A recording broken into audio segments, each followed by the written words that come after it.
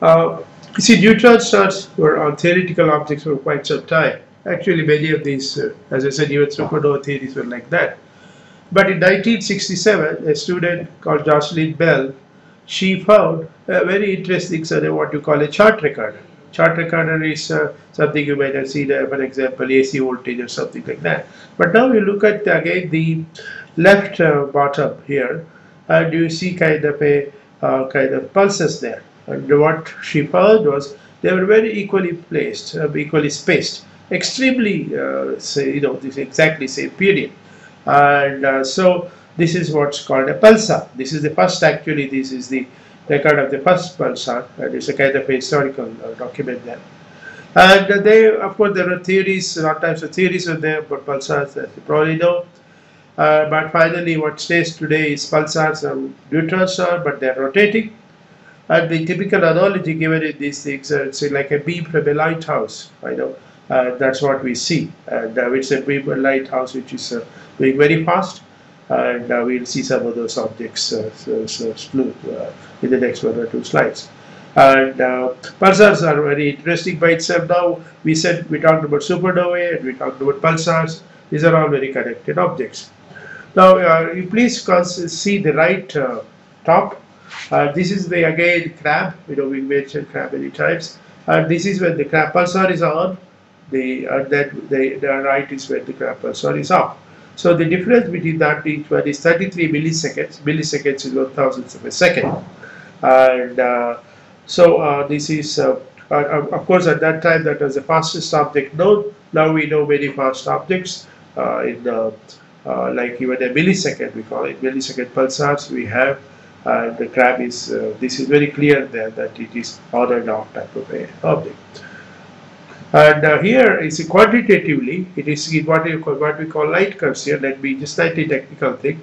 And what we show here is what's called a phase, which goes between 0 and 1. That means like one one turn indicates one there half a turn is 0.5 like let us say uh, like earth around the sun like one year would be one there half a year would be 0.5 now i just want you to just again look at the crab pulsar there you see the radio optical the x-ray and the gamma ray and we have some more but uh, we don't not it them and this, this is what is very special about this object this is supernova as you know now, now you know that and it gives all types of all types of light. You know, whole electromagnetic spectrum. One particular object is creating to all these things.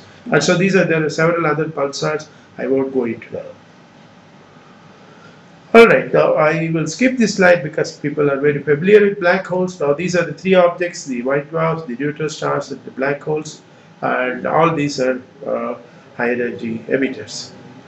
And now let me shift to some uh, uh, uh another uh, very interesting celestial object, what we call quasars. Now you see at the left uh, here, it's a time magazine. As you all know, Time is a, a very famous news magazine in America.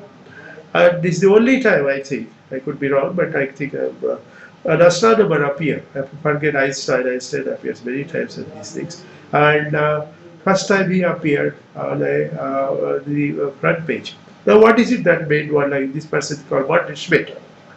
And what is that 12 by He what he found was you just see now the right hand part of the uh, right below. This is what's called a spectrum. Uh, this is a hydrogen spectrum, and hydrogen, as you know, is the basic uh, nucleus, a proton and an electron going around.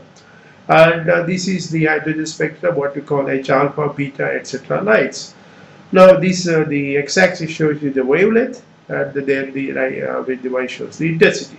Now, you must also see there a red uh, arrow there, what that it is indicating is actually the the left hand left side of the arrow is where if you had done the done the hydrogen spectrum in the lab, that's where you would have seen the lights.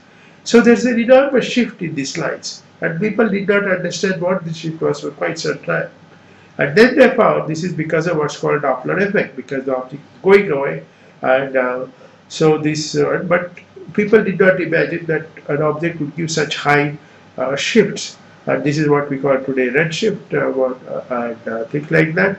so this is the this is again a very classic plot in astronomy, hydrogen spectrum from a quasar compared with that in the lab. And it is also Another uh, important aspect of this is it is not just far, it is also very small. You know, like uh, like for example, it just occupies the space of let's say a solar uh, system. Okay, now this is just the right hand side. You can see the intensity from those objects of these objects from 310 3C279. It's very fast. It's varying within a period of uh, one day or two days like that. That means the object is just only that big. So this is why this active galactic nuclei, that's what it is, very highly luminous and very far off and from a very small region. So it makes it very, very interesting for a for an astronomer, especially for a high energy astronomer. And uh, this is a typical uh, cartoon from a uh, uh, AGN or uh, galactic nuclei. What it is, what the interesting part is the, the central part of the uh, object here you have what is called a supermassive black hole that means uh, uh, like about a million solar masses or something like that and there are two jets jets of optical light could be there gamma could be there x-rays could be there things like that and it is shown in the right amount so now uh, by now we are now familiar with uh, the three important uh, objects as I said supernovae we neutron stars and pulsars and AGN's uh, quasars. Now these are the objects which we will be uh, talking about in the uh, latter part of the lecture. And now, alright, we talked about sources, but then how do these uh, objects make these very high energy particles? Okay. Now here, this is a very, uh, a very common, very interesting phenomenon called synchrotron radiation. Now the name sounds very big, but what all is happening really is that an electron is going in a magnetic field and depending on the energy of the electron, it gives out light, it gives, I mean, it gives out uh, electromagnetic waves. And if the, if the, uh, uh, if the energy is low, the electromagnetic waves is essentially radio. Whereas if it's much, much higher, you would get X-rays also out of this thing. Incidentally, the most of the radio light, radio waves we see in the universe are because of uh, uh, synchrotron radiation. So this is a very important phenomena, but certainly for radio, but even for higher energies, but we need much higher energy electrons for this. The next important uh, uh, thing, which is actually not very, uh, this is photoelectric effect, what happens to photons, okay? And I'll skip this because this is slightly lower energy, more important for X-rays. But what's more important for much higher energy is what we call Compton effect. Compton effect, it is what happens. This is a very famous scientist called Arthur Compton, who we have heard of. What he did was he scattered X-rays of uh, uh, from electrons, X-rays and electrons. He may essentially interact and found that the X-ray comes up with a uh, much uh, uh, depends on the energies actually. We call it Compton effect or inverse Compton effect. And uh, these are processes which gives out either a high, very higher energy electron or a higher energy photon. What is important for us today is what's called inverse Compton, opposite of this effect where a photon comes out with very high energy, but uh, to start with it's a lower energy, but it kicks off on the electron uh, at a much higher energy, kicks off electron at higher energy.